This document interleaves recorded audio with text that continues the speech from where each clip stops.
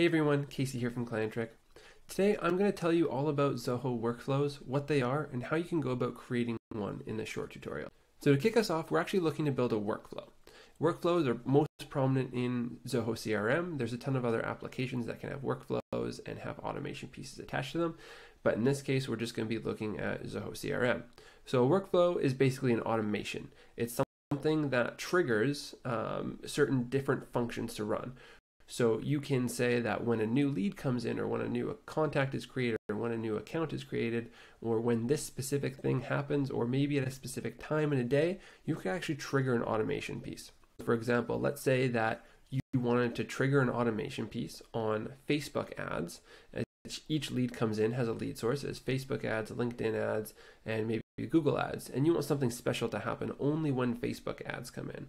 So you can specifically say that I want to filter only on leads that have Facebook ads as the lead source, and then you can do something with it. Whether that's you can send a notification, you can send an email, you can create your own custom function and run that, whatever it may be.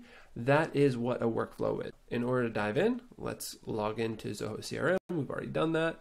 And let's go to our test account and go over to under automation. If you click on the settings cog up here, click the automation and go into the workflow rules, we can actually create a new rule. We, we also need to select which, a, which module we're working with. So if you have a custom module, in this case we have the custom communications module, we can select that and everything would trigger off of that module. So in this case, let's just say contacts. So we want to say um, welcome email. And we can just click next. So right now we are in the workflow and we can select uh, what action we want to take, what date and time based on a score of, of some of some value. And so generally you want to work with on a record action, on a create, create or edit, edit, delete, whatever it may be. So in this case, let's just say create. And in this case, we can also choose which con which contacts matching that certain condition or criteria. So you can choose anything in here and say if phone equals this, then you want this to happen. Doesn't really matter. In this case, we're just going to select all contacts, and then that is going to get rid of any sort of um, matching conditions that we need to do. And now we have the option to update a field, assign an owner, add tags, send a notification, tasks. Uh, we get to create our own functions. So there's a whole bunch of things we can do here. We can also schedule actions.